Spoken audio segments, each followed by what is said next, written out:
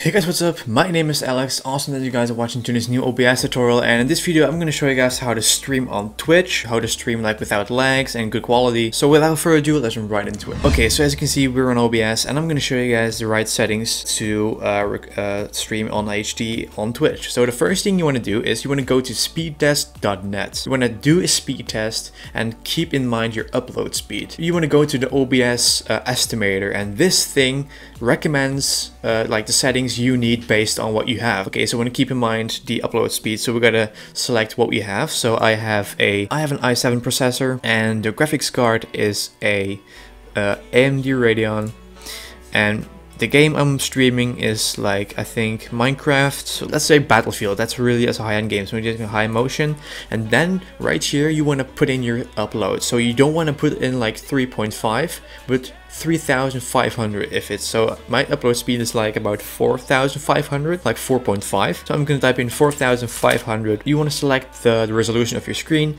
uh, which mine is 920 by 1080 and then you just want to go to recommend settings. And as you can see right here everything pops up. You need to know to stream in HD so I can stream in 30 FPS I need to um, put the FPS to 60 they're actually recommending you what to do so for the game advice try to aim for the highest bitrate possible for high motion games. Use game capture if possible for maximum performance. Use window capture with Aero enabled if game capture is unavailable. And then in terms of, you know, getting no lag, everything has to do with it. So as you can see, your upload speed is sufficient for 720 1080p. If you have above like I think 4000 or like 3500, you can stream in 720 or 1080p. You just want to enable the CFR. You also want to enable the CBR for improved stream stability. And then the bitrate is 3500 and also, and now we're gonna take this information into OBS. So we're gonna go back to OBS, we're gonna go to settings, and right now we can just gonna go to encoding. So the maximum bitrate it was 3500,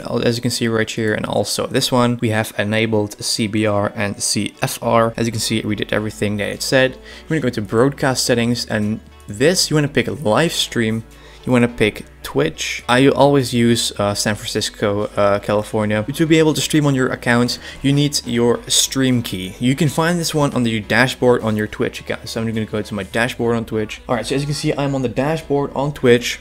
And right now you want to get the code by clicking on stream code and then this window pops up and this is actually the key you want to type in in OBS. So make sure you never share your key with anyone else because if they get your key, they can stream on your account. So we just want to click on show key. Yes, all the warnings, never share your stream key, whatever.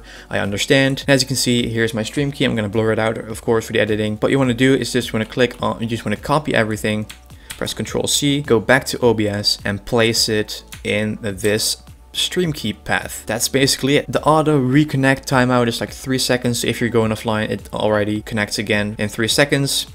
And then you just want to leave everything how this is. So that's it for the broadcast settings uh, part. We're to go to, yeah, we'll save it. You want to go to video. You want to choose your graphics card and uh, you want to choose your graphics card. You don't want to downscale your resolution. FPS put on 30, you can put it on 60 if you want to.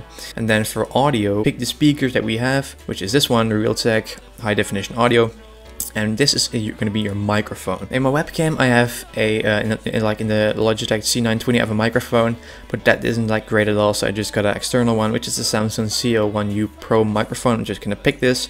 If you want to boost up your um, microphone because if it's too soft you can just gonna mic boost you're gonna click. Uh, I don't think you should be able to uh, put it higher than 3 or else everything is gonna be really soft and your voice is gonna be clipping all the way. And if you want to boot everything else from the music or the sounds of your computer you want to just bring this up. So when that's done the only thing is yes I want to save it the only thing is you just want to uh, leave this on normal. You want to put this on 700 uh, you want to put this on normal. Uh, this the X264 CPU is very fast encoding profile is main and the keyframe interval is 2 and then use CFR and then you want to leave everything down here just how it is and basically then you press on OK and now the only thing you need to do to go live is click on start streaming. So that is how simple it is guys so if you want to see more of those OBS tutorials every Tuesday at 12 pm PST that's 9 pm CET feel free to subscribe down below if, if you find this video helpful uh, make sure to smash that like button down below. So I want to thank you guys for watching I'll see you guys next week so until then I'll see you guys very soon.